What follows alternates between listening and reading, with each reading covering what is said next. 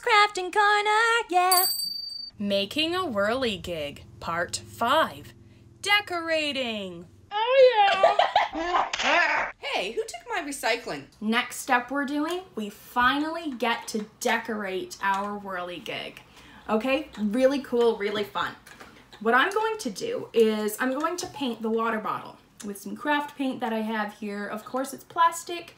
Um, I would recommend doing a few coats just so it's on there a lot better and it's more opaque unless you want this kind of see-through um, like stained glass kind of look, which can also be really interesting so that the light shines through. You can do that as well. I may do that. Um, to give it a bit extra flair, I cut out these little handprints. Okay, these little handprints here cut them out out of just some recycled cardboard. These are from some lard packaging. I also have some from Kleenex boxes that you can just cut out. They are like that thin cardboard, cereal box kind of material. I would suggest using that so they're not too flimsy. I cut two um, for each flag. They are the opposite, so you can put them back to back, and so you get the color on both sides. All right, it's also kind of cool with the little designs or pictures or wording that is from the material you're using. It stays on it, which is pretty cool, instead of just painting it. So what I'm going to do is I'm going to paint it first, but then I'm going to glue these onto each flag. They are about the same size. I'm going to glue them onto each flag here so that when it spins, it's kind of like they're saying hello. It's kind of like your whirligig is saying hi to you, it's waving at you. Of course, you might not be able to be with your friends right now or with your loved ones that much, but at least you have a little reminder that someone's there with you saying hi, your little whirligig here, okay? Made a little friend for yourself. There you go. Okay, so what I'm going to do is I'm going to paint my whirligig here. I have handprints I have purple for the bottom row. I'm going to do purple handprints along the bottom row of flags. I've got my blue handprints I'm doing on the next row.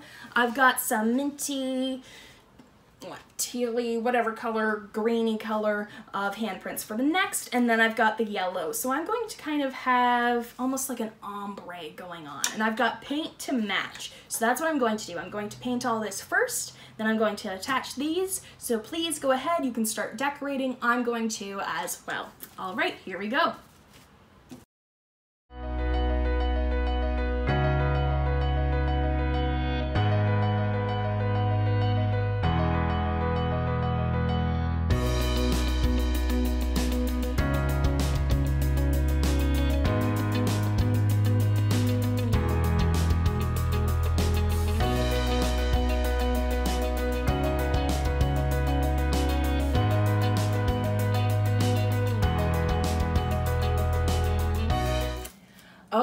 So I painted the whirligig and I attached the little hands to it. Just like I said, as it spins, it says hello to you. It's your new little friend, okay? Kind of funny.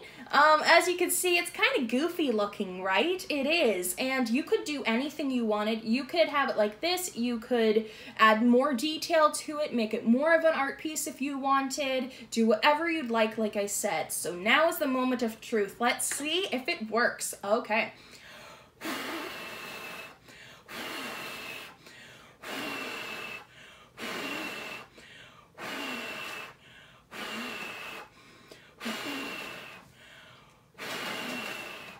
Look at that, it works. Okay, that's so great. It's pretty fun to do.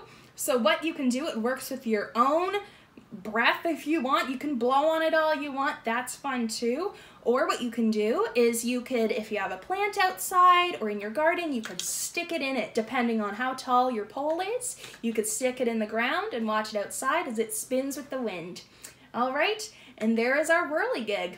All right, I hope you enjoyed that tutorial and send me your pics. Attach them in the messages down below, um, attached to the, at the bottom of the YouTube video. I'd love to see what your whirligigs look like. All right, see you next time. Hi everyone, thanks for joining me with this water bottle whirligig tutorial. I really hope you enjoyed following along with me. If you did not get a chance while watching the video, feel free to watch it again and pause at the certain areas that you would like to follow along to. Thanks so much, and please remember to like and subscribe to my video and my channel, and click the bell button to get notifications for every time I post. I really hope you join me next time for my next video. Can't wait to find out what it is. See you next time. Bye.